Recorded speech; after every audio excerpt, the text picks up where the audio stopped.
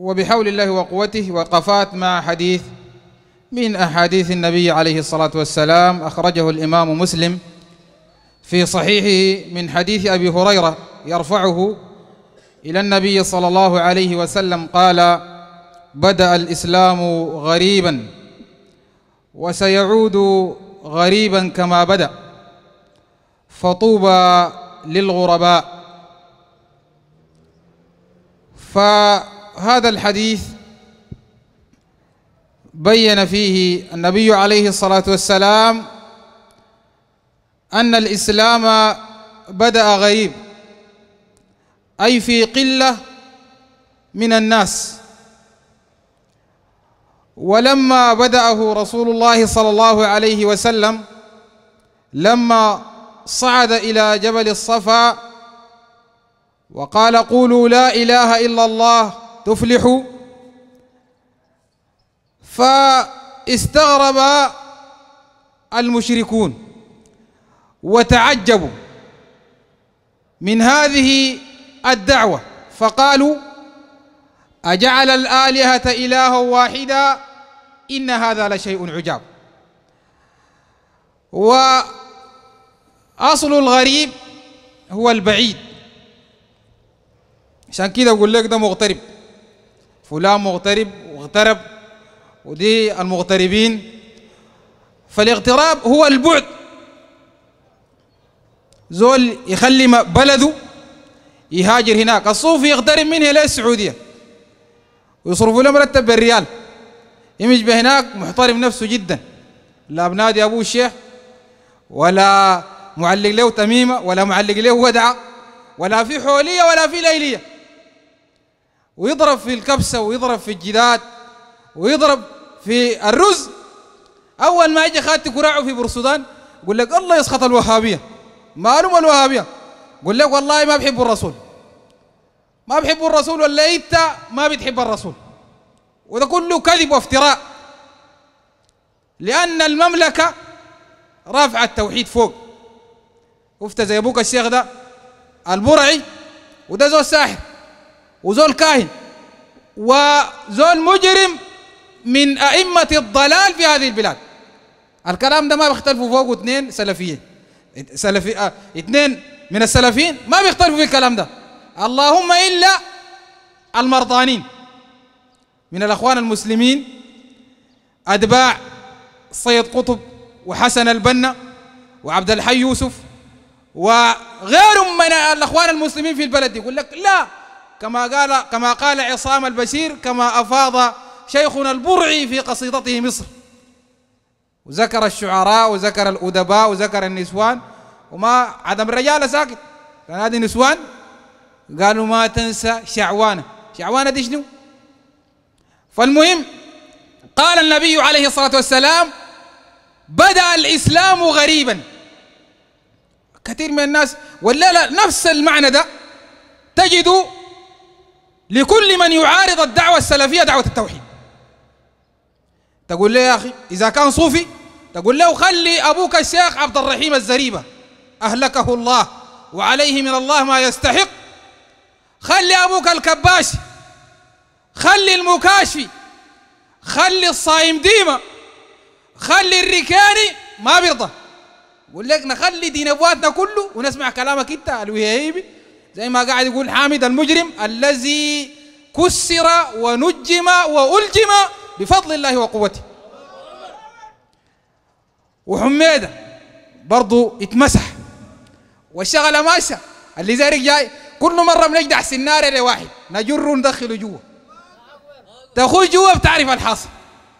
إلا بس الله بس زي ما يقولوا ربنا يقدر نلم فيك في محل طوالي بنجدع لك السنار زي ما حميد الدردق جبراها وخش خش الحلقة بقى عبرة واعظة لكل الصوفيه عشان كده أحمد المنتصر زايق كاب الزوغة. ما داري أصلا.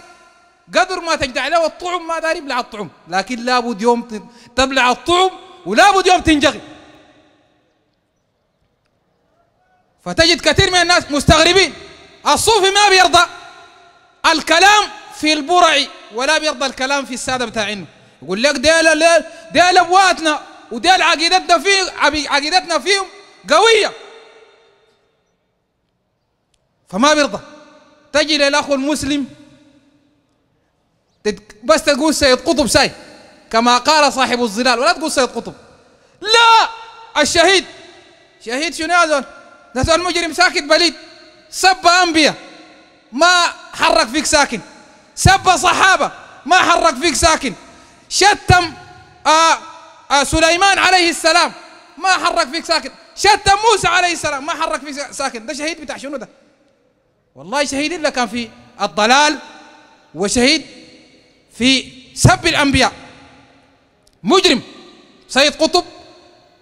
هذا الرجل ما يزال فكره يعني يعتنقه فئام من الناس. كثير حتى بعض أنصار السنة الآن وأنصار السنة برضو بيقول كوركو. تجي المسجد تقول بس تقول ونحذر من كل هذه الجماعات. طوالي من الطريق أنصار السنة أنت من الجماعة مش؟ وأنت جماعة فلان. ما تابع لأي فلان. تابع للرسول عليه الصلاة والسلام وأحذر من كل هذه الجماعات. وأنصار السنة أنصار السنة انبرشت. أنصار السنة انبرشت. أنصار السنة الآن أصبحت تكرم الشرك. ما شفتهم؟ كرموا مرشد الطريقة السمانية ونادوا في المركز النام ولا المركز الغرق فالله المستعان. ده حال أنصار السنة. تتكلم تقول إسماعيل عثمان يعني كرم الصوفية وأدى الألماني ذاك ولا الأمريكا أداه مصحف. لا! إنتوا قليل الأدب وأسئتوا الأدب مع العلماء. منو؟ إسماعيل عثمان؟ ده ما ما عالم. الهواري؟ هذا ليس بعالم. عبد الرحمن حامد؟ ده زمان مش كان قاعد يقول لك ما تجلس في محله؟ ويقول لك إذا إذا جلس صاحب بدعة في مكان فلا تجلس في مكانه حتى يذهب حره. قيل ومتى يذهب حره؟ قال بعد شهر أو شهرين. ومرق له من هنا أظن راكب له طيارتين. فات له الكويت هناك. قعد في محله ذاته. ما بعرفوا الحرارة انتقلت له هو. الحاصل شنو؟ ما كان بيحذرنا من السرورية ومن التنظيم بتاع أنصار السنة بيقول يا جماعة ديل. وبعض الشباب بتاع إنه زمان برضه كانوا ما أقدر نجيب اسمه لأنه أصلا مغمور. بيقول لو اختلفت مع الهواري في مسألة فقهية التنظيم كله يقوم عليك. هذه التنظيمات كلها الآن ما جنينا منها خيرا. الآن بقى جوا الماليزي ذاته. خاش جوا الماليزي امبارح شفته. والله يعني انتبهوا كده. جوا عينه. طوالي ما شافني دنقر تحت عمل خاشي يا زمان ما كنت قاعد تقول لي الناس أصحاب القروش ديل الناس ديل بيقول لي كده هو كان بيقول لي كده أصحاب القروش ديل هم الآن اللي بيشتروا في الدعاة واللي بيضللوا الناس الآن أنت تدخلك بهناك شنو؟ ها؟ دخلك بغادي شنو؟ ها؟ دار له زنكي والله لا تكون دار لك زنكي ولا مواسير والزول ده متخصص في المواسير شفت الزول ده؟ متخصص في المواسير فالمهم بدأ الإسلام غريبا بدأ الإسلام غريب وسيعود غريبا. أي في قلة. الآن الجماعات كثيرة يدعوا الإسلام والمتمسكين بالسنة قليل. المتمسكين بالسنة شوية. لذلك قال النبي عليه الصلاة والسلام وسيعود غريبا كما بدأ. أي في قلة وأفراد قلة وأناس قلة يتمسكون بما كان عليه النبي عليه الصلاة والسلام. لذلك ثبت أيضا عن النبي عليه الصلاة والسلام قال وسوف تفترق أمتي على ثلاث وسبعين فرقة كلها في النار إلا واحد. ما كان على ما كان عليه النبي عليه الصلاة والسلام وأصحابه أو كما قال رسول الله صلى الله عليه وسلم. وسيعود غريبا كما بدأ فطوبى للغرباء. اتبقى من الغرباء دي؟ وطوبى على قولين. إما يعني قيل هي شجرة في الجنة. وقيل كما قال العلامة عبيد الجابري قال هذا وعد بحسن العاقبة لهم. يعني يعني تنبأ النبي عليه الصلاة والسلام بحسن عاقبتهم. قال فطوبى للغرباء. وجاءت روايات كثيرة ولكنها ضعيفة عن الغرب. من هم؟ الروايات ضعيفة لا نحتاج إلى ذكرها. المهم الإسلام هو الاستسلام لله بالتوحيد. أول حاجة شوف الإسلام ده التوحيد. زول ما عنده توحيد ما عنده إسلام. زول ما عنده توحيد ما عنده إسلام. والآن الشرك منتشر ولا ما منتشر يا إخوان؟ منتشر بكثرة. الصوفية يوميا قبة في قبة. أول امبارح ولا 200 جاتني قبة لسه دي ما تم بس ادوا الفوق الرأس الفوق القنبور الفوق ده الدبه هي باقي تحت الساق بس يوميا القباب شغالة. و لا لا لا لا لا القبور تسرج وتعلى. ودارين الوضع يصلح. والذي ينشر الشرك من هم؟ الصوفية بكافة طرقهم. كل الصوفية بكافة الطرق. سطروا الكلام ده في كتبهم. ولا خجلانين منه. وتخجل انت تدافع عن الحق تخجل تدافع عن السنة. والله شفت لو ربنا طلعنا القمر نتكلم في البرعي لو مشينا أي محل لابد من كشف البرعي لأنه هذا الرجل أضل فئام من الناس. فقال وبدأ الإسلام غريبا وسيعود غريبا كما بدأ فطوبى للغرباء. طوبى للغرباء. أبقى من الغرباء دي. وهم قلة. وهم يعني في وسط مجتمعات من يعصيهم أكثر مما يطيعهم ومن يكذبهم أكثر مما يصدقهم ومن يدافع عنهم أكثر ممن يهاجمهم أقل ممن يهاجمهم. فالمهم هم قلة تبقى من القلة دي. وبتنجو وبتنجو وربنا بيرفعك داير الرفعة والله الرفعة ما بين زي ما قال دجال الرشاد أنا اللي برفع وأنا اللي بنزل. أسا التنازل اللي بيرفعك منه التنازل تحت.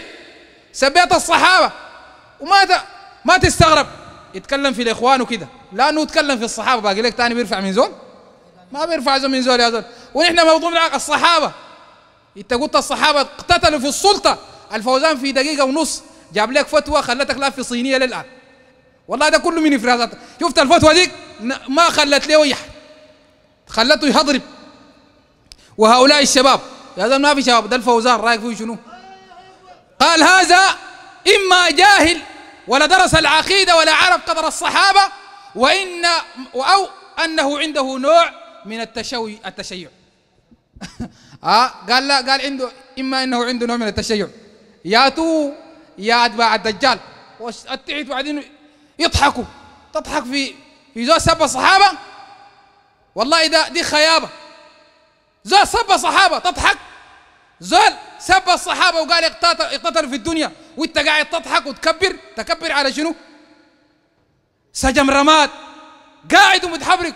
تف تف على منو؟ تف على كتة.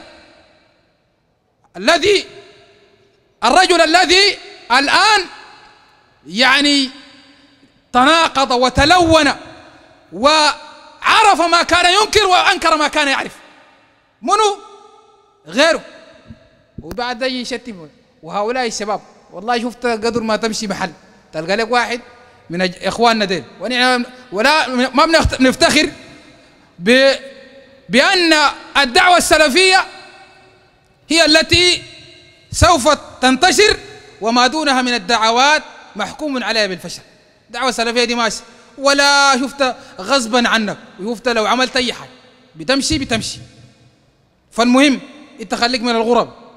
وأنا ما عندي كلام كثير اقدم اخونا الشيخ آدم فليتفضل مجزيا ماجورا والسلام عليكم. من دعا إلى هدى كان له من الأجر مثل أجور من تبعه لا ينقص ذلك من أجورهم شيئا.